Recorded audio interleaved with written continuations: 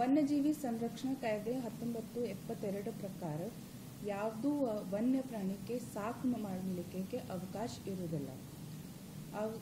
ಇದು ಮಾಡಿದ್ರೆ ಇಂಟೆನ್ಷನಲಿ ಮಾಡಿದ್ರೆ ಅದು ಒಫೆನ್ಸ್ ಆಗ್ತದೆ ಗುಣ ಆಗ್ತದೆ. Section nine sub read with sub section two sixteen B ಅದರ ಜೊತೆಗೆ ಮಾಡ್- ಮಾಡಿದ್ರೆ ಅದು ಗುಣ ಆಗ್ತದೆ.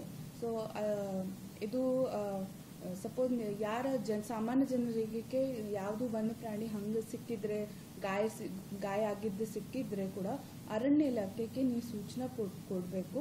ಆ ಸೂಚನಾ ಮೇರೆಗೆ ನಮ್ಮ ಲೋಕಲ್ ಆಫೀಸರ್ಸ್ ಅಲ್ಲಿ ಹೋಗಿ ಆ ವನ್ಯ, ಪ್ರಾಣಿಗೆ ಇಸ್ಕೊಂಡು ಅವ್ರಿಗೆ ಏನು ವೈದ್ಯಕೀಯ ಕೊಡಬೇಕು, ಆ ಕೊಟ್ಟು ಆಮೇಲೆ ಎರಡು ಮೂರು ದಿವಸ ಅವ್ರು ಸರಿಯಾದ ನಂತರ ಅವರು ವಾಪಸ್ ಅರಣ್ಯಕ್ಕೆ ಬಿಡಲೇಬೇಕು ಅಂತ ಇದೆ. ಇದೇ ತಕ್ಷಣ ಲೋಕಲ್ ರೇಂಜ್ ಆಫೀಸರ್ ಇರ್ತದೆ ಅಥವಾ ಉಪವಲಯಾಧಿಕಾರಿ ಇರ್ತದೆ ಅಥವಾ ಅರಣ್ಯ ರಕ್ಷಕರು ಇರ್ತದೆ. ಎಲ್ಲ ಕಡೆ ಇರ್ತದೆ, ಅವ್ರಿಗೆ ಇಮಿಡಿಯೇಟ್ಲಿ ಕಾಂಟ್ಯಾಕ್ಟ್ ಮಾಡಿ ಅವರ ನೀವು ನರೇಗಲ್ ಅಂತ ಅದು ನಮ್ಮ ಗದಗ ರೇಂಜಿಗೆ ಸಂಬಂಧಪಟ್ಟಿದೆ. ನಾವು ತಕ್ಷಣ ನಮ್ಮ ಆಫೀಸರ್ಸ್ಗೆ ಇನ್ಫಾರ್ಮ್ ಮಾಡ್ತೀನಿ.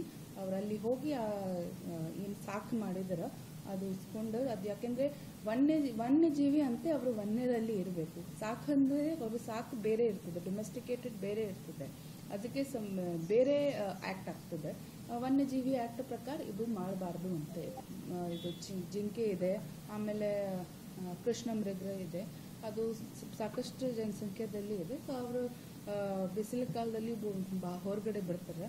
ಸೊ ಅದಕ್ಕೆ ನಮ್ಮ ಜನಕ್ಕೆ ಸ್ವಲ್ಪ ಸ್ಪಂದನ ಕೊಟ್ಟು ಇಂಥದ್ದು ಸಪೋಸ್ ಯಾರದು ಯಾವುದು ಪ್ರಾಣಿಗೆ ಗಾಯ ಆಗಿದೆ ಅಂತೆ ಜನಕ್ಕೆ ಕಂಡು ಬಂದಿದೆ ಅವರು ಅರಣ್ಯ ಇಲಾಖೆಗೆ ಸಂಪರ್ಕಬೇಕು ಸಂಪರ್ಕ ಸಂಪರ್ಕ ನಂತರ, ಸಂಪರ್ಕ ಇನ್ಫಾರ್ಮೇಶನ್ ಕೊಡಬೇಕು. ಇನ್ಫಾರ್ಮೇಶನ್ ಕೊಟ್ಟು ಅವರು ಆ್ಯಕ್ಷನ್ ತಗೊಳ್ತಾರೆ.